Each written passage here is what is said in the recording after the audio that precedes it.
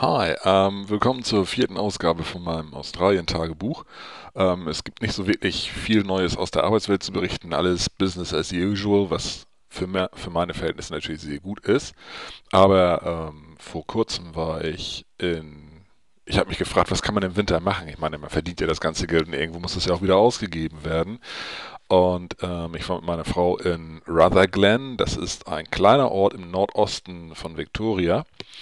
Und ähm, man, man ist erstaunt, wenn man da hinkommt. Man sieht den Ort und denkt sich, ja Gott, das ist halt so ein kleines Örtchen, wie man das halt so kennt, von Outback Australia. So ein, so ein kleiner 1200 Seelenort. Na, das ist eigentlich schon groß. Aber wie gesagt. Ähm, und in diesem Ort, da findet einmal im Jahr das berühmte Victorian Wine, ah, wie heißt es noch? das berühmte, ich weiß nicht, wie es heißt. Ähm, Rutherglen Winery Walkabout. Ähm, das ist ein Walkabout, das ist ein Aborigine-Ausdruck. Das ist, wenn es den Aborigine in den Füßen juckt, dann muss er mal wieder auf den Walkabout gehen. Das machen die dann einfach so, dann ziehen sie einfach los und wandern in ihrem Gebiet umher. Und dieser Walkabout, das ist halt eine Referenz dahin. Es geht halt also darum, dass 20 Wineries, 20 Winzereien, die, finden, äh, die nehmen an diesem Rutherglen Weinfest teil. Und da zahlt man dann 25 Dollar und für diese 25 Dollar, da kriegt man dann so ein, so ein Glas am Schnürsenkel und da steht dann also auch drauf, das, das ist das blaue Band diesmal. Ich glaube, letztes Jahr hatten sie ein rotes Band, dass man da also auch nicht bescheißt. Und dann ist dann da inklusive, dass man dann mit dem Bus umhergekarrt werden kann. Da haben wir uns natürlich überlegt, lohnt sich das? Wollen wir das wirklich machen? Und dann haben wir gesagt, ja klar, wir fahren dahin.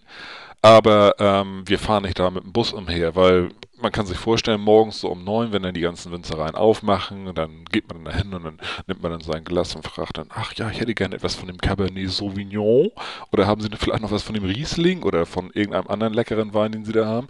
Und abends dann, so, Wein. Aber wenn man sich das dann vorstellt im Bus, ist natürlich nicht so toll, wenn einem die Leute halbwegs in Rücken reihen, wenn ich das mal so sagen darf und Feiern ist ja hier immer sehr extrem und vor allen Dingen, wenn es mit Alk losgeht. Also es ist sagenhaft. Ich dachte immer, die Deutschen wären da so ein bisschen schlimm, aber es ist kein Vergleich mit den Australien hier. Ich weiß auch nicht. Also wir, ich, ich zähle mich inzwischen auch schon dazu. Wir sind also wirklich strenge Alkis hier. Ähm, was ich dazu noch sagen wollte, dieses Weinfest. Ähm, wie gesagt, das findet in Rather Glen statt. Und ja, da sind dann halt so allerlei alberne Aktivitäten angesagt. Da kommt natürlich wie zu jedem Fest halt so ein lokal, lokaler Radiosender hin, der überträgt dann live von den Ereignissen. Und eines der Ereignisse ist dann eben, dass man dort Holzfässer rollt. Das heißt also, da ist dann so eine Bahn abgesteckt und dann sind dann drei Leute, die stehen dann nebenan mit einem leeren Holzfass, mit so einem richtigen Weinfass und müssen das dann die Strecke runterkegeln. Und dann einige, die sind da echt patent, also die haben es wirklich gut drauf. Ich will mal sehen, ob ich dafür irgendein Video finde. Da muss bestimmt irgendwo hier was auf YouTube sein. Oder vielleicht fragt, guckt ihr einfach selber mal nach, nach Rutherglen, wird ähm, geschrieben R-U-T-H-E-R-G-L-E-N, Rutherglen.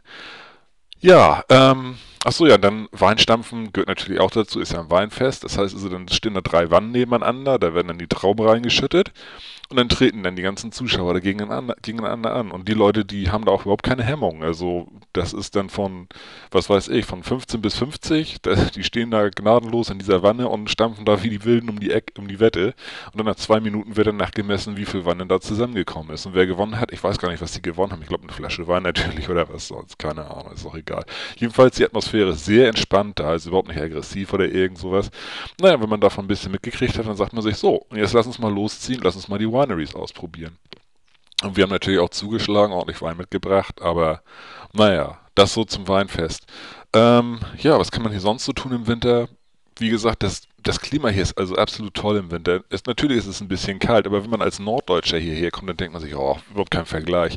Weil wenn ich an, an Hamburg zum Beispiel zurückdenke, ähm, Winter war da immer nass und Winter ging immer von Oktober bis April und dazwischen war das ein bisschen weniger nass und ein bisschen wärmer, aber so richtig warm oder trocken war es nicht. Und hier ist der Winter relativ trocken, das heißt also mit anderen Worten, wenn es regnet, ist natürlich klamm und so weiter, aber wenn es nicht regnet, ist die Luft nicht so, nicht so feucht und so klamm, sondern es ist wirklich, man kann rausgehen und man hat nicht das Gefühl, dass einen die Kälte bis in die, in die Knochen durchzieht. Und vor allen Dingen alles ist grün, das ist natürlich auch toll.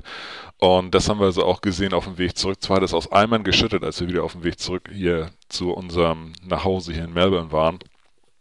Aber ähm, trotzdem, also wie gesagt, also grüne Landschaften. Teilweise dachten wir wirklich, wir wären in der Schweiz. Das ist wirklich wunderschön. Ähm, ich kann also nur empfehlen, wenn man also hierher kommen möchte auf Reisen und dem deutschen Sommer will man ja nicht entkommen. Man ist ja froh, wenn man den deutschen Sommer erleben kann. Aber es ist wirklich wahr, es lohnt sich also auch im Winter hier zu kommen. Ich möchte sogar sagen, wenn man nach Victoria kommt, ist es auf jeden Fall schöner, um diese Jahreszeit zu kommen, als wenn man im Februar, März kommt, weil dann alles trocken und verdorrt ist. Es ist die heißeste Zeit. Alle Leute verstecken sich in ihren Häusern und sitzen unter ihren Klimaanlagen und hoffen, dass es bald mal wieder kälter wird. Ja, das ist im Moment alles, was ich dazu erzählen habe. Ähm, ich werde jetzt in kürzeren Intervallen berichten, weil, wie gesagt, ich bin ja in Lohn und Brot. Mir geht es also gut. Und ich denke, ich, ich werde auch so auch weiterhin in Lohn und Brot bleiben. Wie viele Tage ich pro Woche arbeiten darf, stellt sich heraus, wie wir alle wissen. Ähm, wir haben ja überall die großen Wirtschaftsprobleme. Island ist pleite, alle die restlichen Länder jammern rum. General Motors ist den Bach runtergegangen. Aber uns geht es hier relativ gut. Man weiß zwar rum, aber 5,7% Arbeitslosigkeit ist kein Vergleich zu dem, was man in Deutschland kennt. Also dann, ähm, ja, kann ich nur sagen, bis demnächst.